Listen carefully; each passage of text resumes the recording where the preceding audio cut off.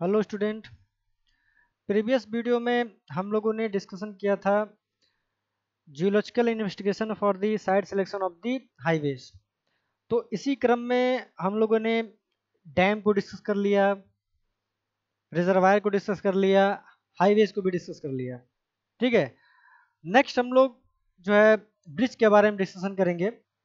तो अब चूँकि हाईवेज हम बना चुके और ब्रिज तो ब्रिज हम कहाँ बनाते हैं? ब्रिज का मेन पर्पज क्या है? कि वन पॉइंट और अदर पॉइंट को कनेक्ट करना। अब ये रिवर के क्रॉस भी आप बना सकते हैं। या फिर आप किसी हाईवे को क्रॉस कर सकते हैं। ठीक है? तो ये हमारा ब्रिज का मेन पर्पज होता है कि one point to another point पे हम कनेक्ट हो जाएँ। ठीक है? लेकिन हमको क्या करना है? जियोलॉजिकल इन्वेस्टिगेशन करना है। किसका? ब्रिज के साइड का। ठीक है? तो कुछ जनरल टर्म के बारे में हम लोग डिस्कस किए थे। जैसे कि टोपोग्राफी ऑफ़ द साइट ठीक है? नेक्स्ट टर्म क्या था आपका? Lithology of the site next geological condition of the site next क्या था? सिस्मिसिटी ऑफ़ द साइट ठीक है? तो कुछ ये जनरल टर्म थे जिसके बारे में हम लोग डिस्कस कर रहे थे। तो वो सभी पॉइंट्स क्या थे? आ, आपके जो डैम है रिजर्वायर है ठीक है? ये सब उसमें काउंट हो जा रहे थे ठीक है? एक और पॉइंट था जैसे ग्राउंड वाटर सोर्सेस तो ग्राउंड वाटर के अप्स एंड डाउन्स कारण भी जो है आपका बहुत से फैक्टर क्या हो रहे थे? अफेक्ट कर रहे थे। बट अगर हम ब्रिज की बात करें तो ब्रिज, हम लोग देखते होंगे कि मोस्टली जो है आपका प्लेन एरिया, यानी टेरेन, पे जो है हम बनाते हैं। ठीक है? बहुत ही कम ऐसे लोकेशंस हैं जहाँ पे हिली साइड में ब्रिज को बनाया गया है। जो भी ब्रिज बने हैं, बहुत ही यूनिक हैं। ठीक है? बहुत ही कम है बट क्या है यूनिक है? उनका पूरा डिज़ाइनिंग यूनिक है। बहुत टाइम लगा है, बहुत ज़्यादा एक्सपेंसिव लगे हैं बट हिल साइड में भी ब्रिज हैं। बट अगर हम मोस्ट ऑफ़ दी ब्रिज की ब्रिज की बात करें तो आप जो है ट्रेन ट्रेन साइड पे आपको ज़्यादा दिखेगा। ठीक है? तो ब्रिज में देखिए, जो हम जनरल टर्म यूज़ कर रहे थे, वो जनरल टर्म यहाँ पे उतना इम्पोर्टेंट नहीं है। क्योंकि आप जो ब्रिज है, आप हर जगह नहीं कंस्ट्रक्ट करते हैं। ब्रिज का एक स्पेसिफिक पर्पज होता है, एक स्पेसिफिक यूज़ होता है। आप हर जगह बिना किसी यूज़ के, बिना किसी पर्पज के ब्रिज को इस्टेब्लिश करना जो है, ठीक नहीं है। ठीक है? करते भी नहीं है, क्योंकि एक्सपेंसेस ज़्यादा होते हैं, इसके डिज़ाइन प्रोसीजर बहुत ही कह लीजिए कि कॉम्प्लेक्स होते हैं। फाउंडेशन डिज़ाइन हो गया, इसके पिलर्स की डिज़ाइन हो गई, ठीक है? इसके स्पैन का डिज़ाइन किस टाइप का ब्रिज हमको लेके चलना है, ठीक है? तो उन सभी के बारे में यहाँ पे पूरा जो है डिटेल स्टडी करना पड़ता है। तो स्टेटमेंट को पढ़ते हैं। ए ब्रिज में be define as the structure build over a river a dry valley low land और एन एस्चुरी और any depressed part of the land to provide with between the two opposite sides, वही है। One point to, another point को जोड़ना। It is essentially a link on a road, a railway track और highway ठीक है। Next पढ़िए। It any major bridge construction project the designer is keen to place the bridge abutment and piers on a sound, strong and stable rock foundation below as possible. Thus, being so the geological characters that need to be investigated and thoroughly established are. तो overall अगर हम bridge के बारे में बात करें तो bridge को स्टेबल कौन करता है? फाउंडेशन। और फाउंडेशन ब्रिज के लिए बहुत ही इंपॉर्टेंट है। फाउंडेशन से आपका टोटली डिपेंड करता है इन पॉइंट्स पे कि आपका depth of the bed rock कैसा है। Depth of the bed rock अगर उस सॉयल में सॉयल का कैरेक्टरिस्टिक कुछ पोरस है सेचुरेटेड हमेशा रह रहा है। ज़ाहिर सी बात है ब्रिज बनाएँगे तो रिवर के क्रॉस बना रहे हैं, ठीक है? रिवर के ओवर बना रहे हैं। आप स्टेटमेंट पढ़े हैं कि structure build over a river तो ओवर हम बिल्ड कर रहे हैं रिवर के। तो कुछ ऐसे उसके जो है कॉलम्स होंगे पिलर्स होंगे, जो आपके रिवर में भी इंक्लूडेड होंगे। रिवर पे भी जो है आप बनाएँगे, ठीक है? या कह लीजिए कि रिवर के बीचों बीच में भी कुछ आप जो है उसको कंस्ट्रक्ट करेंगे। तो उस केस में क्या है कि अभी आपको हम डिस्कस करेंगे कि अगर रिवर के बीचों बीच में कोई कॉलम या पिलर है तो उस केस में क्या है? बेड का इरोजन होता है। उस कॉलम का इरोजन होगा। तो उसको कैसे प्रिवेंट करें? उसको कैसे रजिस्ट करें? तो उसके लिए सबसे इंपॉर्टेंट होता है फाउंडेशन ब्रिज के लिए क्या है? हम सबसे जो है इंपॉर्टेंट तौर पे अगर हम बात करें तो फाउंडेशन बहुत ही ज़रूरी है। फाउंडेशन बहुत ही स्टेबल बनाते हैं। तो इस पॉइंट को देखिए, कह रहा है कि डेप्थ ऑफ़ द बेडरॉक आप जो फाउंडेशन बनाएँगे या जो कॉलम या पिलर बनाएँगे, ठीक है? तो वहाँ का जियोलॉजिकल कंडीशन देखिए कि वहाँ पे किस तरह का बेड है। अगर आपका ओनली सॉइल है, किसी प्रकार कोई रॉक रॉकी नेचर का कोई वहाँ पे बेड वगैरह नहीं है तो आप क्या है कंक्रीट का बेड जो है बनाएँगे। इसका प्रॉपर डिज़ाइनिंग होता है, उस डिज़ाइन प्रोसीजर को फॉलो करते हुए हम बेड बनाएँगे। ठीक है? Next nature of the bed rock ठीक है अगर बेड रॉक है नेचुरल कोई रॉक है तो उसका नेचर क्या है? उसका फ़िज़िकल प्रॉपर्टी क्या है? उसका केमिकल प्रॉपर्टी क्या है? कितने अमाउंट वो इम्परवियस है? कितना वो लोड बियर कर सकता है? या फिर वो कितने स्ट्रेस तक वो आ, कितने एरिया तक कह लीजिए कि वो स्प्रेड है? वहाँ पे भी देखिए कि जियोलॉजिकल उसमें फैक्टर्स क्या है मतलब फोल्ड फॉल्ट फीसर्स क्रैश के बारे में भी आप जो है पूरा उसको चेक कर लीजिए। नेक्स्ट पॉइंट क्या कह रहा है? The structural deposition of the rock structural deposition of the rocks का मतलब ये है कि वो सेडिमेंट्री रॉक है इग्नियस रॉक है कि मेटामॉर्फिक है। अगर इग्नियस या मेटामॉर्फिक रॉक है इट्स गुड कोई प्रॉब्लम नहीं है। आप जो है अपना प्रोसीजर स्टार्ट कर सकते हैं ब्रिज को बनाने का। ठीक है? कोई प्रॉब्लम नहीं होगा। अगर वो सेडिमेंट्री रॉक है तो आप उसको प्रॉपरली चेक करिए। क्योंकि इसके पहले भी हम डिस्कस कर चुके हैं कि सेडिमेंट्री रॉक में क्या है, जो ज्वाइंट्स जो लेयर या स्टेटा की हम बात कर रहे हैं, उसमें सीमेंटिंग प्रॉपर्टी ठीक से एक्ट नहीं कर पाते। यानी बीच में जो जो आपको लेयर दिख रहे हैं, वो आपस में जो है क्या है कोहेसिवली या एडेसिवली जो है कह लीजिए कि वो स्ट्रिक्टली बाउंड नहीं होते हैं। तो उस केस में क्या भी ये तीनों पॉइंट को जो हम डिटेल डिस्कस करेंगे तो ये देखिए, ये टाइप्स ऑफ़ ब्रिज हैं। ब्रिज कि इन इन तरीकों से हम जो इनको बना सकते हैं। जैसे आपका ट्रस ब्रिज है arch bridge beam bridge tied arch brick suspension bridge cantilever bridge cable stayed bridge तो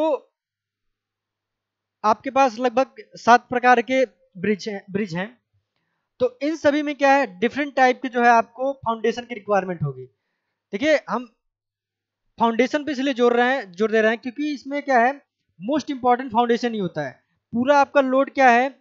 जो भी स्पैन पे, यहाँ इस स्पैन पे, जो भी आपको लोड रहेगा, जो रोलिंग लोड है, या स्टेटिक या डायनेमिक लोड जो भी आप कहिए, वो सभी कहाँ ट्रांसफ़र हो रहा है? इस केबल के थ्रू इस कॉलम पे ही तो ट्रांसफ़र हो रहा है। ठीक है? या इस बीम के थ्रू इस कॉलम पे ट्रांसफ़र हो रहा है।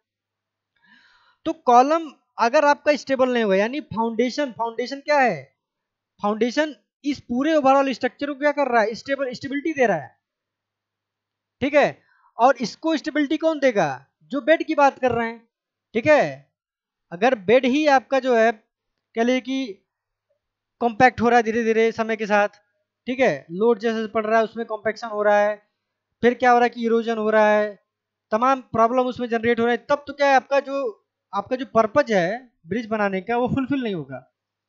आप चाहते हैं कि ये जो ब्रिज हम बनाए हैं, वो हंड्रेड ईयर तक जो है रन करे। मे बी अगर आप इस पॉइंट को, इन पॉइंट को अगर आप कंसीडर नहीं करते हैं तो मे बी दस साल, पाँच साल, पंद्रह साल बाद जो क्रैक जनरेट हो जाएँगे और मे बी ये कोलैप्स कर जाए।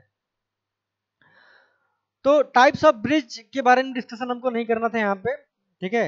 हम ये डिस्कस कर रहे हैं कि भाई ये इन तरीके के ब्रिज हैं, आप जो है as per situation as per condition, as per location. ठीक है? And and as per the geological properties and condition के अकॉर्डिंग जो है, ये टाइप्स ऑफ़ ब्रिज को हम डिसाइड करते हैं। ठीक है? तमाम फैक्टर हैं। आपके कह लीजिए कि ट्रैफ़िक डेंसिटी ट्रैफ़िक कैपेसिटी ठीक है? और आपके जो सीजनल वेरिएशंस हैं, इन सभी पॉइंट को कंसीडर करते हुए हम एक पर्टिकुलर टाइप्स ऑफ़ ब्रिज को हम सेलेक्ट करते हैं। देन उसको हम अप्लाई करते हैं। ठीक है?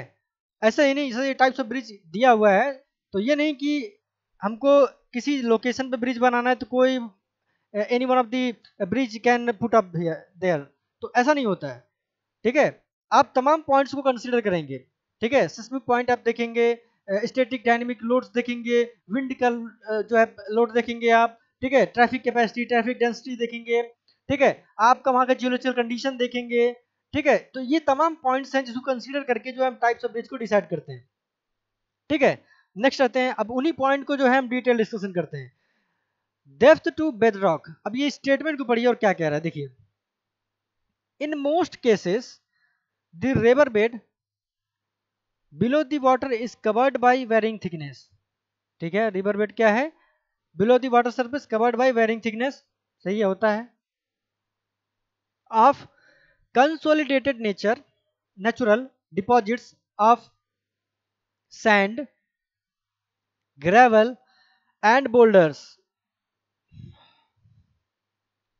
Such loose materials loose materials are not safe as foundation for bridge piers for at least two reason पहला रीजन क्या कह रहा है?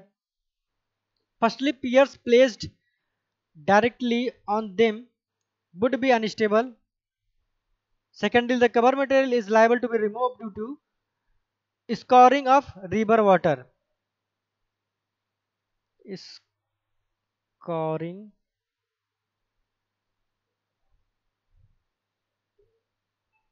scouring होता है। S C O U R I N G scouring by river water ठीक है? Scoring कैसे होता है? अभी फिगर के साथ आप समझेंगे। As such the pier must be placed on stable foundation preferably of rock under the under a suitable thickness of cover material, so that it is safe from score by river water. पहला point क्या कह रहा है? Pier placed directly on them would be unstable ठीक है? Directly कर, आप placed कर देंगे, बिना रॉक को डिसाइड किए, या फिर कोई आप सुटेबल बेड रॉक बनाए हुए। ठीक है?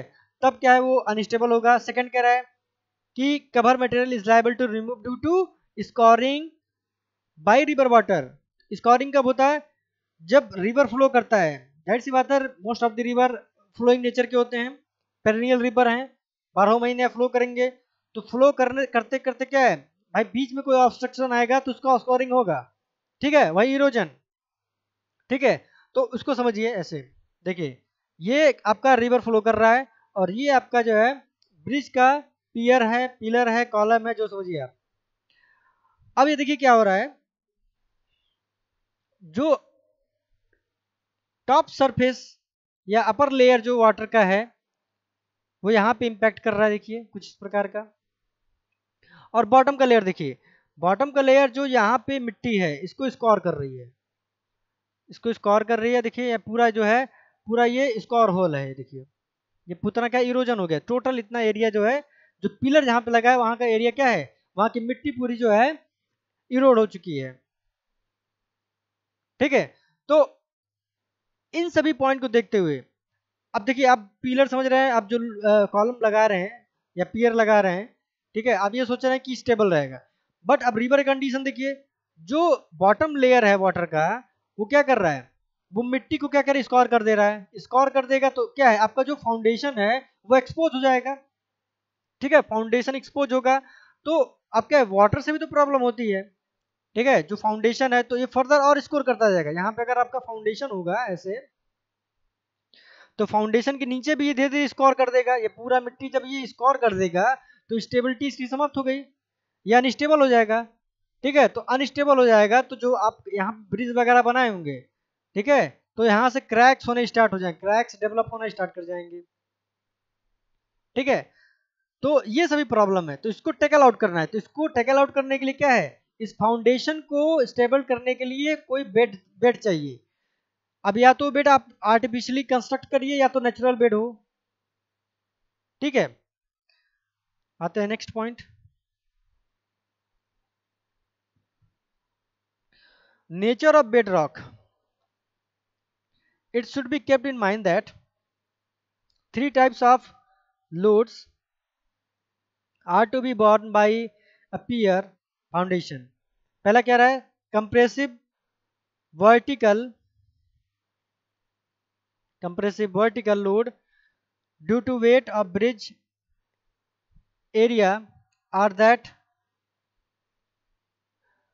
area are that of pier material ठीक है कंप्रेसिव लोड लगेगा सेकंड क्या रहा है horizontal horizontal loads due to thrust of water thrust of the water ठीक है ये जो है आपको यहाँ पे देखिए, यहाँ पे थ्रस्ट लगाएगा, ठीक है? हॉरिजेंटल थ्रस्ट लगा रहा है। चारों तरफ़ से हर तरफ़ से जो है आपका देखिए हॉरिजेंटल थ्रस्ट बनेगा। तो ये आप अगर हम बात करें तो कुछ इस प्रकार का जो है, इसका स्ट्रेस डायग्राम बनेगा इस पर इस पर इतना स्ट्रेस पड़ेगा ऐसे, ठीक है? यहाँ पे ऐसे देख लीजिए। इस प्रकार से फॉर्म होता है।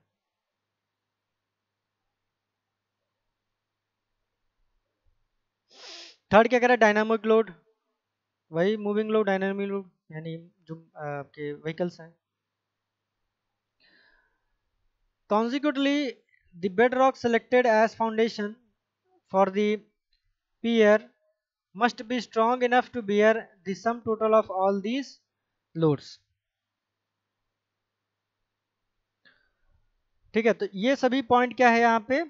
दो पॉइंट हम डिस्कस कर लिए। थर्ड एंड लास्ट पॉइंट को देखिए क्या कह रहा है। Third and last point structural deposition अब स्ट्रक्चरल डिपोजिशन की हम बात करें। सेकंड और फ़र्स्ट पॉइंट को अब देखिए कि आप जो है बेड के बारे में डिस्कशन किए थे कि जो आपका बेड है, ठीक है, जो ब्रिज का बेड होगा, या तो नेचुरल रहे नेचुरल आपके पास बेड नहीं है तो आर्टिफिशियली आपको क्रिएट करना पड़ेगा, ठीक है। और आर्टिफिशियली तो आर्टिफिशियली हमको क्रिएट करना पड़ेगा, ठीक है? तो स्ट्रक्चरल डिपोजिशन की हम बात करें तो स्ट्रक्चरल डिपोजिशन किस प्रकार का होगा? तो स्टेटमेंट को पढ़िए। When the bridge site are located in the zones of seismic activity the foundation are required to be design for additional seismic load as specified in the code of respective areas देखिए, हम पहले discuss किए थे। सभी point के बारे में बताया कि टाइप्स ऑफ़ ब्रिज कैसे डिसाइड करेंगे। तो ये सब देखिए सिस्मिक के बारे में बात हो गया यहाँ पे। नेक्स्ट आइए। In the glaciated area special are must be taken to establish the existence of drawn down और buried valley that might be filled by secondary material of most heterogeneous characters similarly the factor of score must never be overlooked. ठीक है? तो structural deposition क्या है?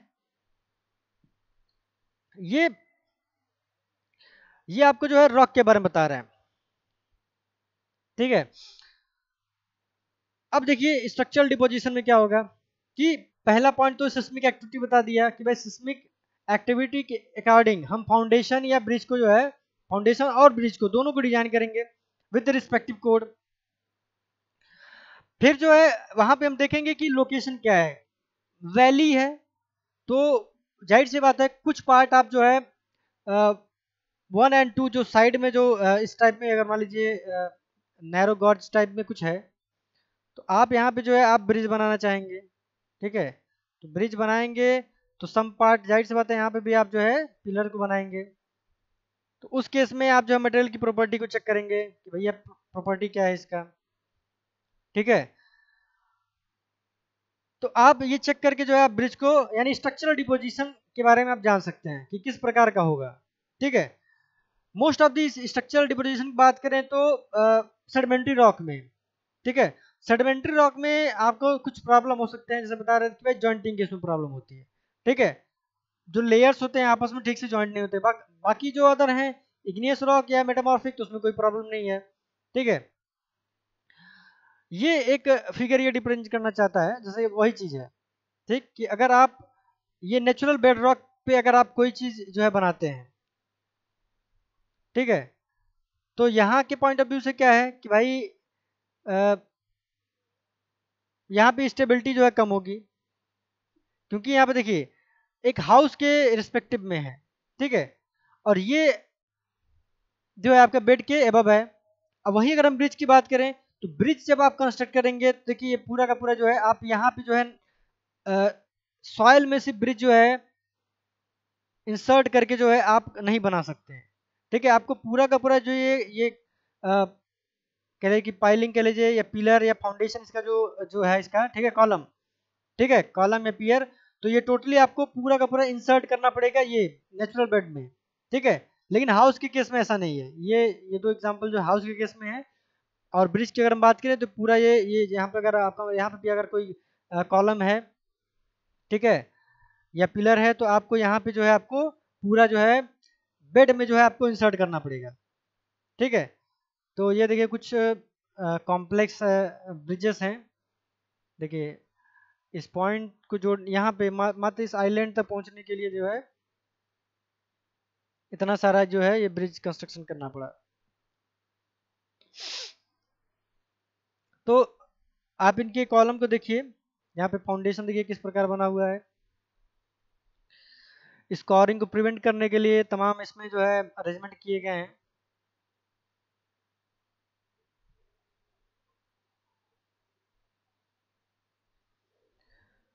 तो overall अगर हम बात करें तो ओवरऑल बात करें तो ब्रिज केस में टोपोग्राफी का कोई खास रोल नहीं है।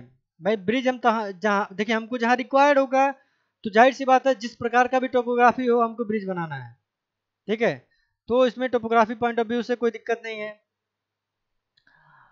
बात करें लिथोलॉजी तो लिथोलॉजी का भी कोई अंतर नहीं है। जहाँ हमको ज़रूरत पड़ेगी, अब वो किस प्रकार का एरिया है, चाहे वो आपका माउंटेनियस रीजन हो, चाहे वहाँ पे रिवर फ्लो करता हो, ठीक है, चाहे लेक हो, चाहे पॉन्ड हो, ठीक है, चाहे आपका अंडरग्राउंड वाटर इवन क्यों ना राइज कर रहा हो वाटर लॉक्ड एरिया हो, चाहे मार्सी लैंड हो चाहे डिजर्ट हो, अगर हमको वहाँ पे रिक्वायर्ड है ब्रिज की, ठीक है तो इन सब पॉइंट को देखने की ज़रूरत नहीं है। आप ब्रिज वहाँ पे आप बना सकते हैं, ठीक है। हाँ और सेकंड आपका जियोलॉजिकल कंडीशन तो जियोलॉजिकल कंडीशन को हम उसमें देखते हैं। ये आपका जो पूरा पॉइंट आपका जो है जियोलॉजिकल कंडीशन पे डिपेंड करता है। सिस्मिसिटी पॉइंट भी डिपेंड कर रहा है आपका। ठीक है porosity and permeability of the site and location या सॉइल के बारे में पूरा डिस्कशन इसमें इन्वॉल्व है। ठीक है ग्राउंड वाटर सोर्स इसमें कोई ज़्यादा डिपेंड नहीं करता है। ठीक है, क्योंकि आप मोस्ट ऑफ़ दी जो ब्रिज आप बनाते हैं आप देखते होंगे, वो रिवर के ही ओवर बनाते हैं। तो वाटर से कांटेक्ट तो होगा ही। तो देखिए, ये कुछ जनरल टर्म है जो, जिनको जो है ब्रिज के कंस्ट्रक्शन में जो है आपको मेमोराइज करना पड़ जाएगा। ठीक है? बाकी आता जो टर्म है, जैसे हम जो टोपोग्राफी की बात करें lithology geology seismicity porosity permeability ground water sources तो वो अदर केस में जो है लागू हो जाएगा। लागू तो इस केस में भी हो सकता है बट क्या है ना, आप इसको लॉजिकली सोचिए।